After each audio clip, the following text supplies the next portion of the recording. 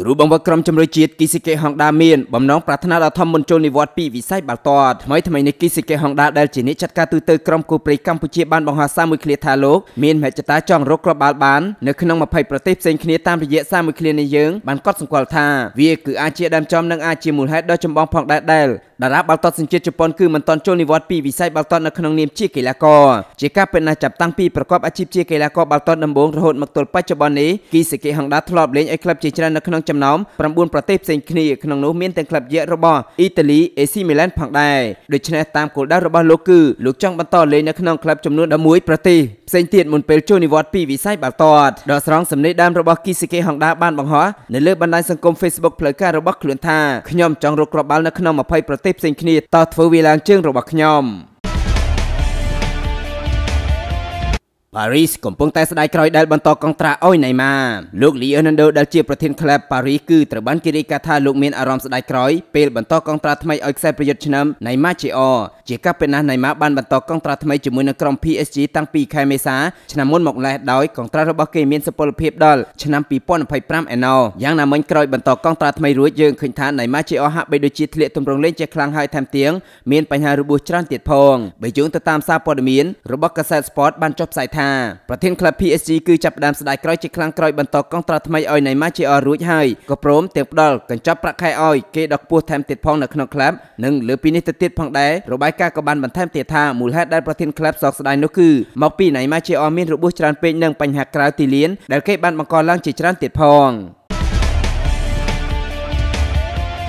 ធូម៉ាធូឆែលអន់ចិត្តជាមួយនឹងលូកាគូជាខ្លាំងនាចាត់ការទូទៅធូម៉ាធូឆែលបានបង្ហាញការខកចិត្តនៅបរាជ័យក្រុមធ្វើជើងរបស់ក្រុមរៀលម៉ាឌ្រីតសានេះដោយចាញ់រហូតដល់ទៅ3ទល់នឹង1នៅក្នុងទឹកដីខ្លួនឯងជួនពេលដែលសមាជិកនៅក្នុងក្រុមហាក់លេងមិនបានល្អទាល់តែសោះពលគឺមិនត្រូវស្តង់ដារក្លឹបយក្សដូចជា Chelsea នៅឡើយក្លឹបតៅខេ Chelsea មានឱកាសច្រើនគួរសមដែរហើយអ្វីដែលគេចាប់អារម្មណ៍បំផុតនោះគឺនៅតង់ទី2ដែលខ្សែប្រយុទ្ធសញ្ជាតិបែលសេក Romelu Lukaku មានឱកាសឈរចាំតែបាល់តែម្នាក់ឯងតែបែរជាមិនអាចតែបានល្អ ថាមិនចូលកោះហើយចោះនេះគឺមិនចំទាំងគោលដៅថែមទៀតផង ក្រោយចប់ការប្រកួតនេះចាត់ការទូទៅលោក Thomas Tuchel បាននិយាយថាឱកាសពេលនឹងគឺវាសំខាន់ខ្លាំងណាស់ដោយនេះយើងលេងរាប់គ្រាប់បាល់ក្រៅដីអីទៀតហើយអញ្ចឹងបើយើងមានកម្រិតត្រឹមតែមួយគ្រាប់ឬក៏បានស្មើនោះគឺឱកាសនៃការវាយបកក៏បានងាយផងដែរនៅប្រកួតបន្តតាមថាយើងគួរតែបានស្មើព្រោះយើងរកឃើញចន្លោះនឹងឱកាសច្រើនណាស់ដែរតែយ៉ាងណាការលេងរបស់កីឡាករលក្ខណៈបុគ្គលថ្ងៃនេះគឺហាក់បីដូចជានៅឆ្ងាយកម្រិតនៃស្តង់ដាររបស់ក្លឹបជាខ្លាំងគួររំលឹកផងថាការប្រកួតជើងទី2វគ្គ8ក្រុមចុងក្រោយនៃក្រុមទាំងពីរគឺនឹងធ្វើឡើងនៅក្នុងទឹកដីនៃប្រទេសអេស្ប៉ាញដែលរៀលម៉ាឌ្រីតនឹងត្រូវស្វាគមន៍ក្រុមតៅខៀវ Chelsea នៅថ្ងៃទី13ខែមេសា2022ខាងមុខនេះ បែនស៊ីម៉ាត្រូវបានគេដាក់រហស្សនាមថាជា Spider-Man អតីតនាយចាំទីដ៏ល្បី Iker Casillas បានហៅការីមបែនស៊ីម៉ាថាគឺជាព្រះជាម្ចាស់នៃបាល់ទាត់ខណៈដែលខ្សែប្រយុទ្ធសញ្ជាតិបារាំងបានសុទ្ធបញ្ចូលទីដ៏អស្ចារ្យជួយឲ្យ Real Madrid យកឈ្នះទៅលើក្រុមតៅខី Chelsea នៅក្នុងការប្រកួត Champions League វគ្គ1ភាគ4ផ្ដាច់ព្រាត់កីឡាកររបស់ក្រុម Real Madrid ទាំងអតីតកាលនិងបច្ចុប្បន្នមានភាពស្ញប់ស្ញែងចំពោះខ្សែប្រយុទ្ធដ៏ឆ្នើមរូបនេះជាខ្លាំងខណៈដែល Benzema បន្តសូត្រ hat-trick ជួយឲ្យក្រុម Real Madrid បំបាក់ក្រុមម្ចាស់ផ្ទះតៅខី Chelsea លើទឹកដី Stamford Bridge នៃប្រទេសអង់គ្លេសជើងទី1វគ្គ8ក្រុមចុងក្រោយពានរង្វាន់ UEFA Champions League ក្រោយចប់ការប្រកួតគ្រូបង្វឹករបស់ក្រុម Real Madrid លោក Carlo Ancelotti បានប្រាប់នាយកសារព័ត៌មានថាតើមានអ្វីប្លែកពី Benzema ភាពជាអ្នកដឹកនាំរបស់គាត់គាត់កាន់តែក្លាយជាអ្នកដឹកនាំក្រុមហើយឥឡូវនេះគាត់គឺមានអារម្មណ៍ថាកាន់តែមានសារៈសំខាន់ជារៀងរាល់ថ្ងៃគាត់កាន់តែល្អនិងប្រសើរឡើងទន្ទឹមនឹងនេះផងដែរអតីតអ្នកចន្ទទីរបស់ក្រុម Real Madrid គឺ Casillas បានសរសេរនៅលើបណ្ដាញសង្គម Twitter ថា Benzema គឺជា Spider-Man Benzema គឺជា Wolverine Benzema គឺជា Doorman Benzema គឺជាមិត្តដ៏ល្អបំផុតរបស់អ្នក Benzema គឺជាជីដូនរបស់អ្នក Benzema គឺជាប្រធានាធិបតីសហរដ្ឋអាមេរិក Benzema គឺជាគ្រូបង្ហាត់ដែលអ្នកលោតឆាត់យងជាមួយ Benzema គឺជា Guardian Angel របស់អ្នក Benzema គឺជាព្រះ វីរៈបុរសប្រេស៊ីលរ៉ូណាល់ឌីញ៉ូបានបង្ហាញការយល់ឃើញជំវិញគុណភាពនៃការលេងរបស់កីឡាករវ័យក្មេងដែលកំពុងតែលេចធ្លោខ្លាំងនៅក្នុងរយៈពេលចុងក្រោយនេះតែយ៉ាងណាលោកក៏បានសង្កត់ធ្ងន់ថាកម្រិតរបស់គេគឺមិនទាន់ឲ្យលោកនឹកដល់រ៉ូណាល់ដូណាហ្សារីយ៉ូដែលធ្លាប់ជាកំពូលខ្សែប្រយុទ្ធកាលពីអតីតកាលនៅឡើយបានទេជាការពិតណាស់អនឡាញគឺជាខ្សែប្រយុទ្ធពេញលក្ខណៈមួយរូបដែលល្អទាំងល្បឿនល្អទាំងការបញ្ចប់ទីនិងបច្ចេកទេសនៃការញាក់បាល់នៅពេលដែលឈរជើងនៅក្នុង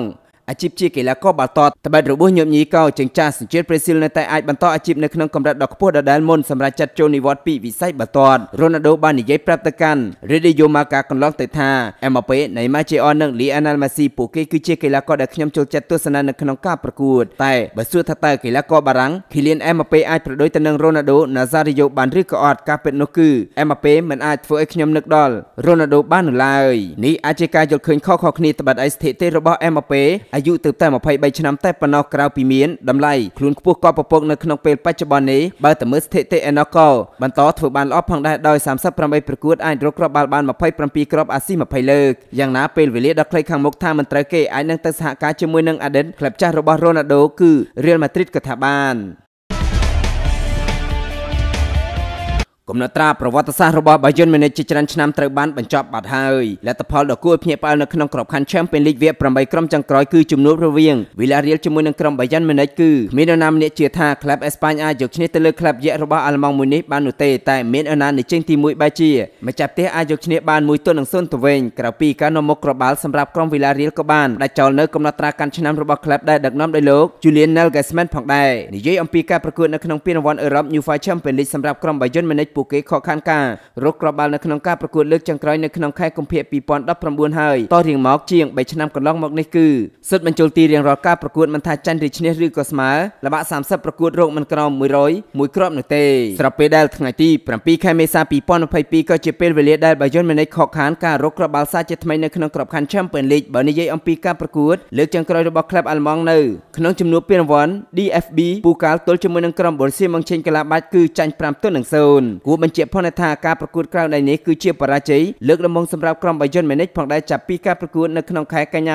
2018ដែលចាញ់ក្រុម PSG 3ទល់នឹង0នេះគឺជាការលេងមិនចាញ់ទាល់តែសម22ប្រកួតនៅក្រៅដៃជាប់ជាប់គ្នាក៏ត្រូវបានបញ្ចប់ក្រុមធ្វើជើងរបស់ក្រុម Villarreal មកពីអេស្ប៉ាញគួររំលឹកផងថាការប្រកួតជើងទី2នឹងប្រព្រឹត្តទៅនៅថ្ងៃទី13ខែមេសា2022 វីរៈបរិសរបស់ក្រុមអន្ត្រីដៃអាល្លឺម៉ង់ Mario Götze បានទទូចឲ្យមនុស្សគ្រប់គ្នាហៅគាត់ថាគឺជា Cristiano Ronaldo របស់អាល្លឺម៉ង់វិញក្រោយរយៈពេលកន្លងមកគេតែងតែហៅគាត់ថាគឺជា Lionel Messi របស់អាល្លឺម៉ង់ជាការពិតណាស់គាត់គឺបាននិយាយបែបនេះកាលពីឆ្នាំ2015បន្ទាប់ពីគាត់កំពុងល្បីខ្លាំងដោយសារតែគាត់គឺជាអ្នកសុទ្ធបញ្ចូលទី1គ្រាប់ឲ្យក្រុមជម្រើសជាតិអាល្លឺម៉ង់លើកពានរង្វាន់ World Cup នៅក្នុងឆ្នាំ2014ចាប់ពីពេលនោះមកគេតែងតែប្រៀបប្រដូចគាត់ក៏ដូចជាការលេងរបស់គាត់ជាមួយនឹង Lionel Messi ឬហៅថា Lionel Messi របស់អាល្លឺម៉ង់ក៏ប៉ុន្តែគាត់បែរជាទទូចឲ្យគេហៅគាត់ថាជា Ronaldo អាល្លឺម៉ង់ទៅវិញដកស្រង់សម្ដីដើម Mario Götze បាននិយាយកាលពីឆ្នាំ2015ថាមនុស្សគ្រប់គ្នាហៅខ្ញុំថា Lionel Messi អាល្លឺម៉ង់បាទអរគុណក៏ប៉ុន្តែខ្ញុំពេញចិត្តនៅក្នុងការឲ្យគេហៅថា Ronaldo អាល្លឺម៉ង់វិញ